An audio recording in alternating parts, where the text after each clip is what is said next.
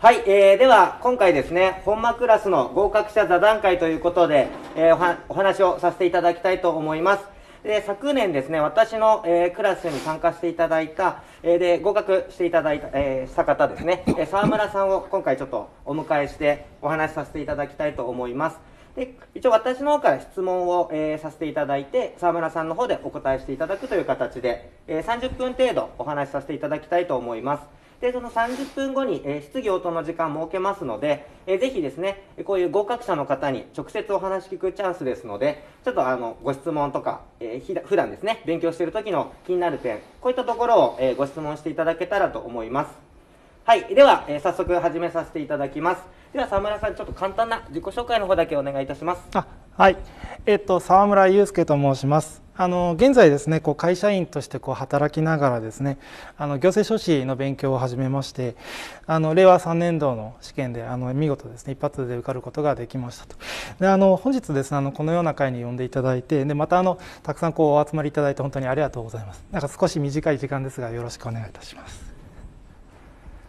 はい、えー、ありがとうございます。えー、沢村さんは、えー、昨年ですね、私のクラス通っていただいて、一応一度で、一発で合格ということで、で、あの、皆さんと同様にですね、あの、お仕事、えー、なさりながら合格という状況でした。で、あの、えー、ご家庭もありまして、お子さんもいらっしゃる中で、えー、家事、育児もしながらということで、おそらく今、えー、今回参加していただいている方と、えまあ、同様の条件の中で、えうまく勉強なさって合格したということなので、えここからもちょっといろいろ私の方から根掘り葉掘り聞いていきたいと思いますので、はい。はい。では、え早速なんですけども、まず、あの、行政書士試験に挑戦しようと思った目指すきっかけっていうのは、えどのようなものだったんでしょうか？はい。あの、僕がこう目指すきっかけっていうところが、もう本当一つにですね手にこう職をつけたかったっていうのが、えっと、一番の理由になってます。であの現在含めて私自身でいくと今職場3社目なんですね。でずっとこういろんな業界であの営業に従事してきましてで、まあ、その数々の職場の中で、まあ、例えば周り見るとあのエンジニアの方だったりとかで今の職場だとデータサイエンティストがいたりとかあの結構こう専門職の方なんですよね。で一方こうその時に私ってこう何屋なんだっていうのをですねあのまあ今ちょっと30代半ばなんですけど、まあ、将来のこう不安とともにですねふとこう考えるようになったっていうところが一つかなと思ってます。でなんか営業職も営業職であの汎用性があってとか、まあ、なんかいい点とかをですねこういろいろ考えてはみたんですけどなんかこう自分にしっくりこなくてっていうところででやっぱその一方でこう専門職の方々っていうのが非常にこうかっこよく見えたっていうなんかすごいなんか そういうところで目指すっていう形になりました。はい、ありがとうございます。で、じゃあ今回、まあ、専門職がいいということで、あえてその行政書士を選んだ理由なんかもありますでしょうか？あそうですねあの、中学生の頃からですね、あのこれまたなんかすごい影響されやすいんです。ドラマとか見てても、まあ、法律系のところ非常にこう興味があったんですね。で、まあ、とはいえこう、あの、大学とかは、あの全然法学部とか全く無縁の教育学部の卒業でして、で、まあ、こう目指すってなった時にどうせだったらこうやっぱ自分のこう昔からある気持ちになんかこう正直になってみようっていうところで、まあえっと、法律系の資格を調べたっていう形になってます。でやっぱこう難易度とか、まあ、平均の学習時間 とか、まあ、結構現実的に考えてですねあとはまあ今も YouTube とかでもいろんな情報があるので、まあ、そういったところも見ながら、まあ、行政書士を見つけたっていう形になってます。でまあ、あとよく考えてもこう私の祖父もですねあの何やってるか正直分からなかったんですけど行政書士っていうことをやっていて、まあ、そういったのも一つのきっかけかなと思ってます。あありがとうございます。そうですね、なんか私も今、あの、行政書士事務所でですね、実務を行いながら、えー、講師やらさせていただいてるんですけども、私もその目指すきっかけというか、最初行政書士試験受験したのとか、大学在学中でして、それも、あの、私法学部だったんですけども、あの、行政書士として働くっていうよりも、とりあえず受けてみようと。で、受けてみて、あの、この法律の資格の専門性とか、えー、もっとちょっと勉強してみたいなっていうのがあって、最初私、その司法試験の、えー、挑戦とかもしていたんですね。で、ただまあいろいろ、あの、私も20代でですね、あの、あった中で、最終的にその行政書士としてどうやって、え自分の専門性を磨いてですね、活躍できるかっていうところを、ちょっと真剣に考えて、今に至るというところがあります。ですので、やっぱりこの行政書士の資格っていう可能性とか、おそらく今参加していただいている方もですね、とりあえず受けてみよう。一旦何かに挑戦してみたい。そういう方も多くいらっしゃると思うんですね。ただこれが思いがけず、えー、その後ですね、数年後だったりに、えー、すごい可能性のあるものになるかと思うので、おそらく皆さんもそういった、まず今では、えー、きっかけとしては小さなものかもしれませんが、あの、今後大きくなる可能性とかもあるので、ぜひ、え引き続きですね、勉強していただいたりとか、これから勉強を、え検討していらっしゃる方は、えー、ちょっと真剣に向き合っていただけたらなというふうに、私も自分の体験とか踏まえて、すごく感じるところであります。はい、えー、ではですね、ちょっとあの、簡単に自己紹介の方、今、させていただいたんです、していただいたんですけども、あの、じゃあ、やっぱりですね、あの、皆様気になられるのは、合格した方ってどうやって勉強してたのかとか、どういうふうにスケジュール立てたのか、こういう具体的なところ気になられると思います。で、そういったところを、ちょっと今から私の方でどんどん聞いていきたいと思います。まず、えー、私の平日クラスに、えー、ご参加して、えー、受講していただいてたんですけども、その時の、その、お仕事の状況だったりとかって、どのような感じだったんですかね、サイクルとしましては。そうですね、あの、休むことなくというかあのインプット期とかアウトプット期も基本こうなんか会社員であの普通に働いてました。で今の会社が基本こう9時から10、まあ、一般的なところですよねプラスまあ必要に応じて残業っていう形で、まあ、それはそれでやりつつっていうところでまあやっぱあとこのコロナ禍なので、まあ、基本リモートっていう形ではあるんですけど、まあ、私はあの自分自身 あんまり家だとあれなんで出社してやってたっていう形になってます。なるほどそうすると本当に基本的に、えー、月曜日から金曜日出社なさって、はい、でまあ9時から6時働いてその後夜に勉強というような形だったんですかね。そうですね、うんうん、なるほど。そうするとあの私平日クラスで一応7時15分から講義を行ってはいるんですけども一応それになんとか間に合うように仕事を終わらせて参加していただいたっていうようなまあ、そうですね、時折遅れ。ま あ、おそらくね、お仕事が、えー、残業とかということもあられると思うので、まあ、そういう形でごさ、えー、受講していただいてたと。はい、で、私のちょっと記憶だとですね、あの、沢村さんは、一番最初の、あの、私の開校の、えー、憲法から参加していただいてなかった記憶なんですけども、はいはい、沢村さんっていつ頃からその勉強を始めたというか、えー、通っていただいたのっていつ頃だったんでしょうかね？とこれちょっと本当うる覚えなんですけど、多分1月の末ぐらいにそのあそこに座ってる鈴浦さんにちょっと営業を受けてですねでまあとりあえず受けるかっていう形になりで多分2月ぐらいから、えっと、実際こう先生の講義に出始めたっていう感じだと思います。多分私の、えー、講義が1月末、2月だと行政法の多分2とかそのあたりですよね。まさに今、えー、3月の頭なので、今、よりちょっと前なので、多分行政法2が始まるぐらいに多分参加していただいてという形かと思います。まあ、そうすると、あの、結構ですね、一番最初から憲法の1回目からご参加していただいている方っていうのは、まあ、あの、順調に受けていただけたら全科目終わる形にはなってると思うんですけども、やっぱりその、遅れて参加していただく方っていうのは、じゃあ行政法、私の講義で言うと行政法の1とか、うん、憲法っていうのは、ちょっとご自身でやっていただく必要とかあると思うんですけども、その巻き返しっていうのは、タイミング的にもう始めてすぐ行ったのか、それとも後の方に一気にバーって追いついたのかとかってどのように進めた感じでしょうか？と僕の場合はもう前者で一応こう講義は講義でありつつなんか DVD あの録画？のやつも見れるやつだったのでそれはそれで事前にこう見てで憲法とかも曖昧まで挟みながらで問題、えー、と復習ドリルでしたっけ？もうとりあえずやりながらで分かんないところは先生に聞きながらでもう最初のうちはとりあえずやってました。なる。そうするとじゃあ本当に例えば行政法には通っていただきながら、はい、空いてる時間で憲法を見ながらというような形ですかね、はい、憲法とあと行政法のなんかやってなかったところ。はいはい、はい、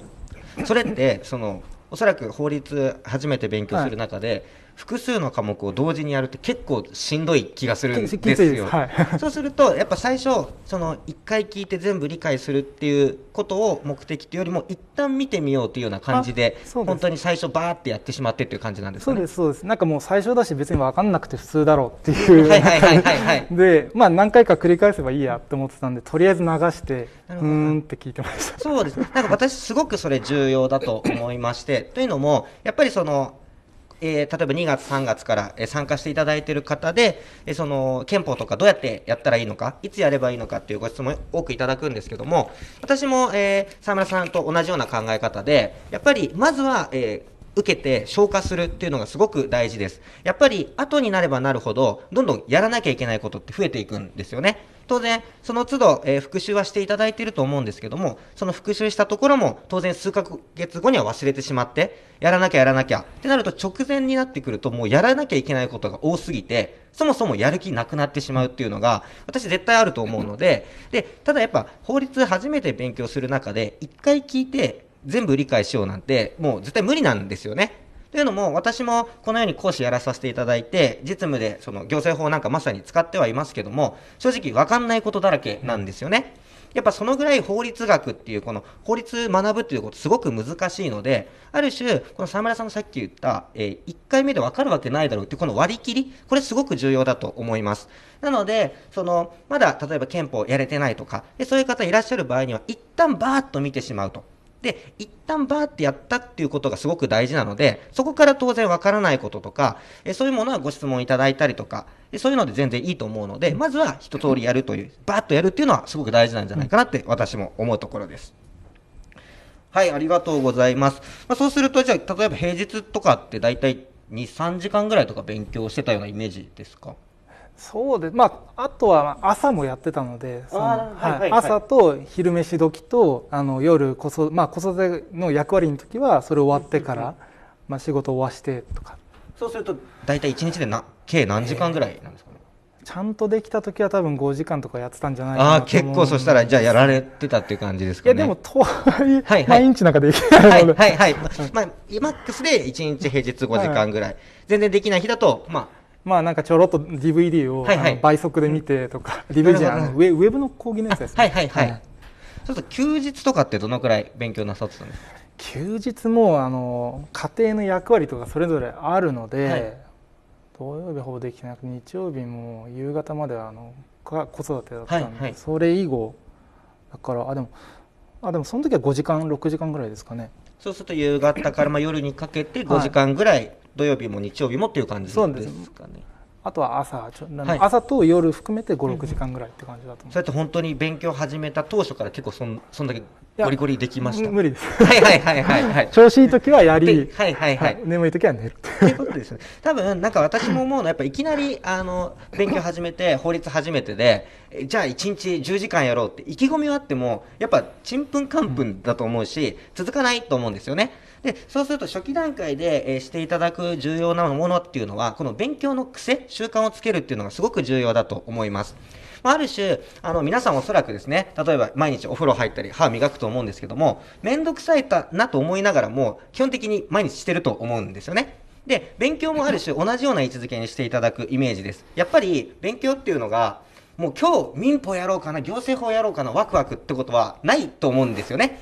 私は正直ないんじゃないかなと思ってます。やっぱやんなきゃいけないなっていう感じな気持ちがある中で、でももう癖になって習慣化すると、意外とそこにストレスなくやれるっていうことがありますので、まずは最初に勉強始めたてについては、まず勉強習慣の癖をつける、まあ、ルーティン化するっていうところですよね。で、そこから徐々に勉強時間を上げていくっていうのがすごく重要なので、まずは本当に1日30分とか、もうそのぐらいでもいいので勉強して、勉強習慣、癖をつけるっていうところが大事っていうような形になりますかね。なるほどですね。ありがとうございます。そうすると、まあ、徐々に徐々に平日とか、えー休日とかも勉強時間を増やしつつやっていったということですね。で、最大で、まあ、5時間ずつぐらいはやられたと。はいで、おそらく結構その、当然皆様ですね、こう聞か聞かれてる方について、まあ、可処分時間、えー異なると思います。当然平日、その、例えば9時、10時まで毎日お仕事あるという方もいらっしゃると思うので、別に今、じゃあ5時間っていうふうにお伝えしましたけども、5時間やんなきゃ受かんないっていうわけではなくて、えー皆様の可処分時間に合った勉強スタイルとか勉強方法、当然あるかと思います。例えば平日、その夜遅くまでやられてる方でも、土日が丸々空いてるっていうパターンもあると思います。沢村さんはちょっと育児、家事でですね、あの、夕方から夜しか確保できないということでしたけども、じゃあ例えば平日確保できない方は休日にその分確保すればいいということなので、その一概に何時間というよりも、ご自身のその生活スタイルに合わせた組み合わせ、それがすごく重要だと思います。で、やっぱそういうところってなかなか自分で判断とかスケジュール組むって難しいと思うんですよね。で、そういうところのご相談とかも、ぜひせっかく通っていただいている方については、もう本当に、えー、これでいいんですか？こういうのでも全然いいと思うんですよ。結構その質問しづらかったりとかってあると思うんですけども、勉強の内容だけじゃなくて、こういうスケジュールの組み方とか、えー、その時間の配分とか、科目の重要性とかですね、こういうところがもう、えー、一緒にその調整とかさせていただけるので、ぜひそういうところにもちょっと意識を割いてですね、勉強の内容だけじゃなくて、どういうふうに組み立てていくのか、時間使っていくのか、そういうのもやっぱ合格のポイントになるんじゃないかなっていうふうに思いますね。はい、ありがとうございます。そしたら沢村さんはお仕事と、まあ、家事育児なさっていまして、その中でその両立するために、なんか工夫したこととかってありますかね？そうですね。あの、まあ、両立するって、まあ、工夫するって言ってもやっぱ勉強するに時間がないとどうにもできないので、はいはい、やっぱそのこう時間確保するために何してたかみたいなところをちょっとお話しできればなと思うんですけど、まあ、大きくまあ仕事と、まあ、家庭家事、まあ、しあのこしあの自分のところですね。で仕事においてはもうあの、まあ一般的だねって言われるかもしれないですけど優先度をつけてですね自分でやんなきゃいけないもの急ぎなもの重要度の高いものはさっとやってでまあ、そこから順にこうやってったっていう形であとはまあたまたまこう所属する会社のグループの中に事務の方もいらっしゃったので自分でやらなくていいものとかは全部もうお任せしちゃって、まあ、チェックとかするんですけど、はいはい、そんな形にして自分の時間を作るっていうことをやってました。で家事とか育児の、まあ、いわゆるプライベートの方に関しては、まあ、あの先ほどもお話してたんですけど基本はこうもう役割分担を、えっと、曜日ごとに決めてしまってで自分の時間が取れる時はもうそこで見えるのでそこに標準を合わせてあの勉強するようにしていくっていう形で、まあ、なんか大きくやっぱそういう仕事においては優先度家事育児においてはもう役割っていうところですね。なるほどですねありがとうございますおそらく今あのおっしゃっていただいたところもすごく重要かなと思いまして やっぱりなかなかその時間が取れないっていうところが結構このあの仕事と、えーその資格受験のその課題だと思うんですよね。で、そうすると、やっぱり単純にじゃあこの時間仕事で取られるから、この時間しか空いていないではなくて、仕事もどうやったらその時間をうまく使えるか、その例えば事務の方に仕事をちょっと頼んで自分の負担を減らすとかっていう、ある種勉強だけじゃなくて仕事にも多分工夫をして、どう勉強をその中心にというか勉強を主軸に置きながらも仕事の細分化というかスケジュールの組み立て方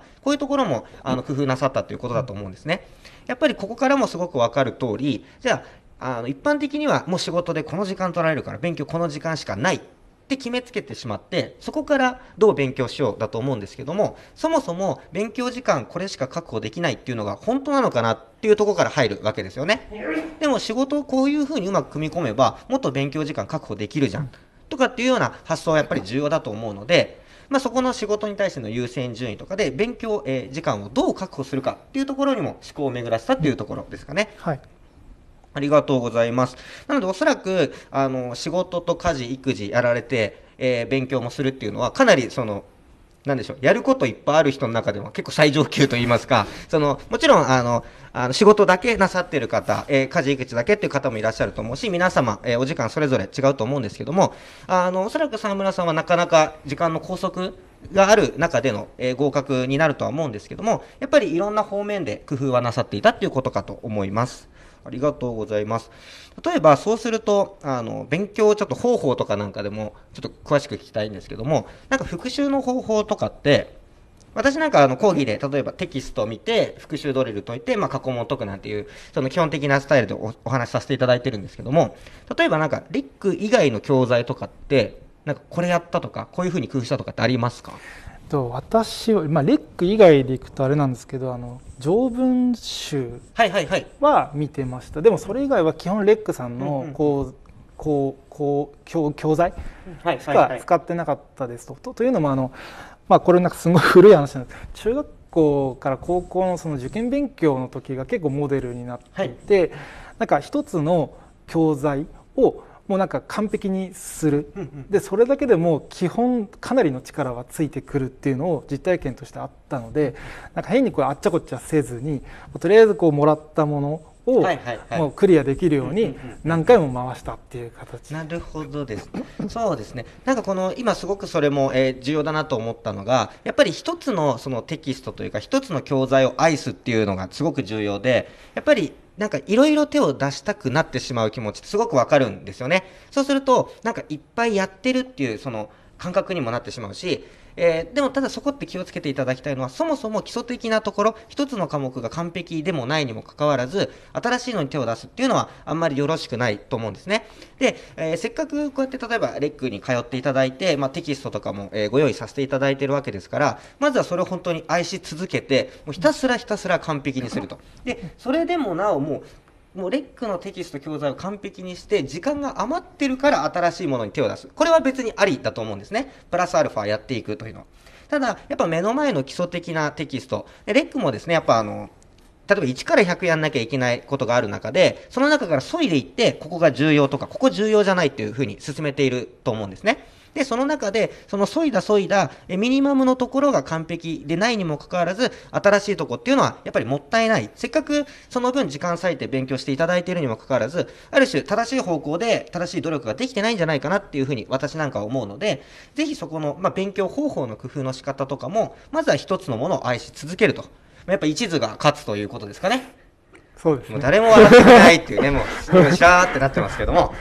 はい、ありがとうございます。そしたらですね、あの、佐村さんは毎週、えー通っていただいたんですけども、ウェブじゃなくて、その、わざわざ通った生講義だったっていう、なんかそこの理由とか、はい。メリットとかってありますかね？そうですね。なんかちょっとあのカンペをいろいろ考えてきて下ちょくちょく見ながらなんですけど基本やっぱこう予備校にこうレックさんに来るっていうことで、まあ、勉強のこう習慣作りっていうのをやっぱできますっていうところとあとやっぱこうだらけた時の、まあ、リズム調整というかですねそういったのが一つあるかなと思ってます。であとはやっぱこうまあその生生のこう先講師の声聞くっていうこととあとやっぱこうじゅ他にもいろんなこう勉強している方もいるのでなんかいい意味でこう心理的にえいい影響を与えるというかそういったのもあるかなと思ってるのとあとはやっぱこう最後にはこうなんだろうな本間先生は本間先生にこうその場でこう聞ける分かんないことっていうのがあるかなと思って。ありがとうございます。そうですね、なんか私なんかも、その、沢村さんとの今回のこの話でですね、皆様というか、あの、私の、えー講義参加していただいている方にもちょっと伝えたいな、なんかいうふうに思うんですけども、やっぱり、あの、もっと質問していただけたらいいのになって思う時がすごくあります。というのも、あの、おそらく私もですね、一生懸命、えーわかりやすいように講義、えさせていただいてるんですけども、一回聞いて全部わかるってことはないんじゃないかなってやっぱ思ってるわけですね。なかなかここ分かりづらかったとか、えその講義を聞いてる時には、えー分かったつもりだったけども、復習してみると、あれ？これなんだっけかなと。こういうものって絶対多くあるはずなんですよね。で、そういうものを、えせっかく生で通っていただいていて、直接聞けるわけですから、もうどんどん本当に小さなものでもいいので、聞いていただいた方がいいなと思っております。というのも、あのこれ、しっかりしたデータがあるわけじゃないので、ちょっと一概に言うのは難しいんですが、やっぱ多く質問いただいた方の、えー合格率って高いんじゃないかなって、あくまで私の主観で思っているところがございます。というのも、やっぱり質問してコミュニケーションを取ることで、一回聞いてこういうふうに理解したっていう知識と全然違う深みがある知識として定着するんですね。やっぱりコミュニケーションを取っていろいろ、これってでもこういうことですか？いや、こういうことなんですかね？っていうのをやると、やっぱ覚えれるんですよね。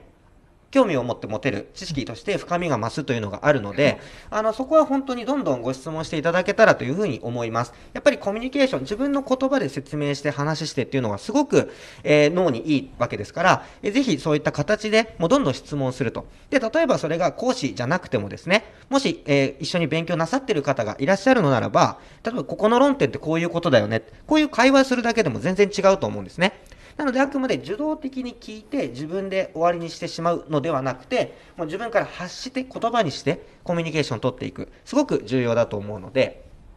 あとは、あの、こうやって予備校、まあ、レックさんっていうよりも予備校っていうイメージだと思うんですけども、せっかく通っていただいてるわけですから、まあ私なんかは若干その、そういうものって、なんかま貧乏症じゃないんですけども、もう絞り尽くして使ってやろうじゃないけど、やっぱり合格のために皆さん通っていただいてるわけですから、もうどんどんね、利活用、有効活用していくべきだと思うので、そういった本当にコミュニケーションを取るというのは、あの、生講義でしかできないものだと思うので、えそういうところは、えーちょっと意識していただけたらというふうに思いますね。あと、やっぱりその、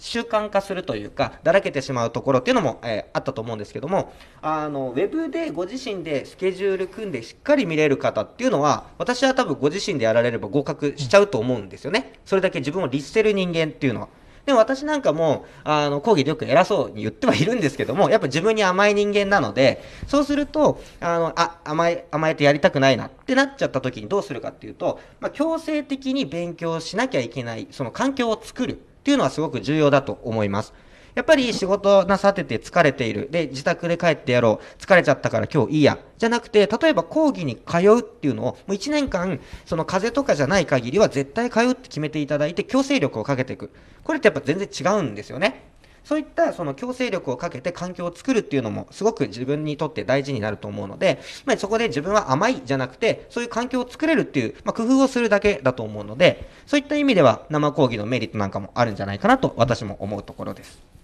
ありがとうございます。そしたら、まあ、これ私質問しづらいところなんですけども、あの、私の講義通っていただいて良かったところがもしあるのならば、はい、はい、いただきたいなと思います。そうですね。いや、あの、